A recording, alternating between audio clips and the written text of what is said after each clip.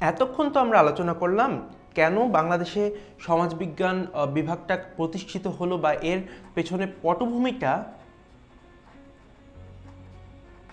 কীভাবে রচিত হলো কিংবা কীভাবে বাংলাদেশে সমাজবিজ্ঞান বিভাগ প্রতিষ্ঠিত হলো। এখন আমরা আলোচনা করব ঠিক কেন বা কি কি কারণে সমাজবিজ্ঞানটা বাংলাদেশে পড়া দরকার? অর্থাৎ একজন ছাত্র বা একজন শিক্ষার্থীর কেন সমাজবিজ্ঞান সম্বন্ধে ধারণা রাখা দরকার? সমাজবিজ্ঞান মানুষকে আরও ভালোভাবে বুঝতে সহায়তা করে। অর্থাৎ সমাজবিজ্ঞান পড়ার মাধ্যমে তুমি তোমার আশেপাশের যে মানুষগুলো রয়েছে, সেই দলবদ্ধ মানুষগুলো কীভাবে আচরণ করছে, কোন দিকে আচরণ করতে পারে, কেন আচরণ করছে বা সামাজিক প্রতিষ্ঠানগুলো যেমন পরিবার ধর্মীয় প্রতিষ্ঠান কিংবা অর্থনৈতিক প্রতিষ্ঠান এই যে প্রতিষ্ঠানগুলো রয়েছে, এই প্রতিষ্ঠানগুলো কীভাবে করে কাজ করছে, কেন কাজ করছে, এই বিষয়গুলো বুঝতে পারা যায় এবং এই বোঝাটা আসলে আমাদের জন্য খুবই গুরুত্বপূর্ণ। কেননা, যখন আমরা আমাদের এই সমাজটিকে বুঝতে পারব, তখন আসলে আমরা আমাদের অধিকার এবং কর্তব্য সম্বন্ধে সচেতন হতে পারব। এবং এই অধিকার ও কর্তব্য সচেতন হলেই কিন্তু আমরা একজন আত্মসচেতন মানুষ হিসেবে নিজেদেরকে গড়ে তুলতে পারব। এবং গুরুত্বপূর্ণ কিছু দক্ষতা অর্জন করা যায়। অর্থাৎ আমরা যদি সমাজবিজ্ঞান পড়ি, তখন বেশ কিছু দক্ষতা অর্জন করি, যে দক্ষতাগুলো মানুষকে বোঝার ক্ষেত্রে কাজে দেয় এবং আমরা যখন মানুষকে বুঝতে পারব, তখন কিন্তু আসলে আমাদের বিভিন্ন পেশা যেগুলো মানুষ কেন্দ্রিক অর্থাৎ আমরা হিউম্যান সেন্টার যে সকল বা হিউম্যান ওরিয়েন্টেড যে সকল পেশা রয়েছে, সেই পেশাগুলোতে যেতে সহজেই পারব। এরপর সমাজে যে পরিবর্তন, অর্থাৎ আমাদের সমাজ কিন্তু একটা পরিবর্তনের মধ্যে দিয়ে যাচ্ছে। ক্রমান্বয়ে এই পরিবর্তনগুলোর মধ্যে থেকে সমাজ যাচ্ছে।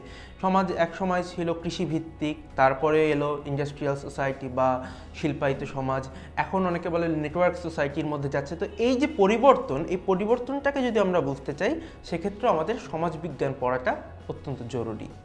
এবং উন্নয়ন পলিসি মেকিংয়ের ক্ষেত্রে বা ডেভেলপমেন্টের ক্ষেত্রে আমাদের কিন্তু সমাজবিজ্ঞান, যিনি সমাজবিজ্ঞানকে জানা অত্যন্ত জরুরি। আমরা যদি উন্নয়ন করতে চাই, অর্থাৎ এখনকার মানুষের যে জীবনমান রয়েছে, সেখান থেকে তাদেরকে আরও উপরের স্তরে নিয়ে যেতে চাই বা একটা ভালো জীবনমানের দিকে সমাজের একটা কালেকটিভ যেটাকে বলে ওয়েলফেয়ার সেটা নিশ্চিত করতে চাই, সেক্ষেত্রে কিন্তু আমাদের খুব বেশি পরিমাণে দরকার হবে এই সমাজবিজ্ঞান পাঠ করা। কারণ সমাজের মানুষকেই যদি আমি না বুঝি, তাহলে কিন্তু আসলে সেই সমাজের উন্নয়ন করা কখনোই আমাদের পক্ষে সম্ভব হয় না। আরেকটা বিষয় হচ্ছে সামাজিক সমস্যা সমাধানে অর্থাৎ সামাজিক সমস্যা তোমরা ভবিষ্যতে যে সকল চ্যাপ্টার রয়েছে, এই দ্বিতীয় পত্রেই সেখানেই পড়বে যে সামাজিক সমস্যা কি।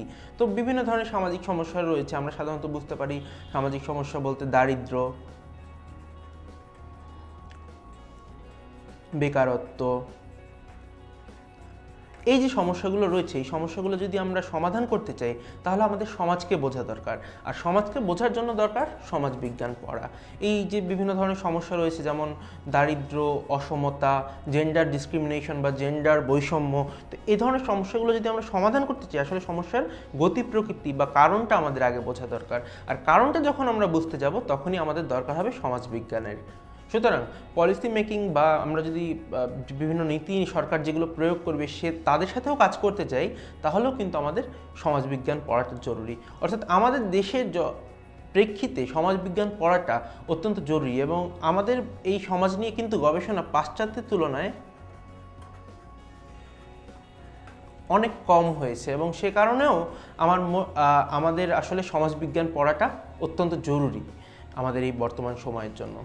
সুতরাং এই চ্যাপ্টারের মাধ্যমে আমরা বোঝার চেষ্টা করলাম যে বাংলাদেশে কীভাবে করে সমাজবিজ্ঞানের পটভূমি রচিত হয়েছে এবং কীভাবে করে আসলে সমাজবিজ্ঞান বিভাগটা প্রতিষ্ঠা হয়েছে বাংলাদেশে এবং তারপরে একাডেমিক ডিসিপ্লিন হিসেবে বিভিন্ন বিশ্ববিদ্যালয়ে এবং জাতীয় বিশ্ববিদ্যালয় অধীন কলেজগুলোতেও সমাজবিজ্ঞান বিভাগ প্রতিষ্ঠিত হয়েছে এবং তারপরে আমরা আলোচনা করলাম যে সমাজবিজ্ঞান কেন বাংলাদেশে পড়াটা জরুরি। অর্থাৎ এই যে সমাজবিজ্ঞান প্রতিষ্ঠা হলো বিভাগটা, এই বিভাগটা প্রতিষ্ঠিত হওয়ার পরে এটা কেন আসলে চালিয়ে নেওয়া জরুরি? এবং অন্যান্য বিশ্ববিদ্যালয়ে কেন আসলে সমাজবিজ্ঞান পড়াটা জরুরি সেই বিষয়টি?